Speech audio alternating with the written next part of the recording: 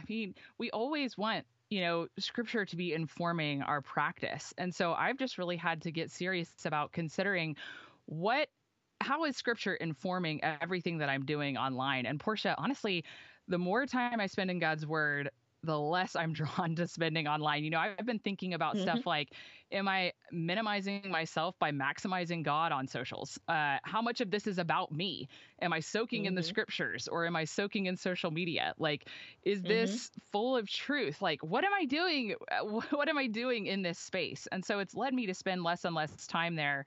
Um, and I'm super thankful for that because we only have one life to live and one opportunity really to offer ourselves as a living sacrifice to the Lord Jesus. And also the mm-hmm. people that we're around. I would hate to spend so much time considering how to, you know, be engaging with people at a distance and neglect the people mm-hmm. who are right in front of me. Um, so I've really been having to consider what does it look like to love my neighbor, especially the littlest neighbors who are within the four walls of my own home, uh, not just like what does it look like to engage wisely online. You know, I think the internet is this weird thing where we have this kind of illusion of being able to develop our own kind of perfect curated identity and we're pushing back against like the limits that God has given us because it it offers us this illusion of being able mm. to be present in lots of different places and being able to have knowledge from lots of different spaces and I just think that it's really good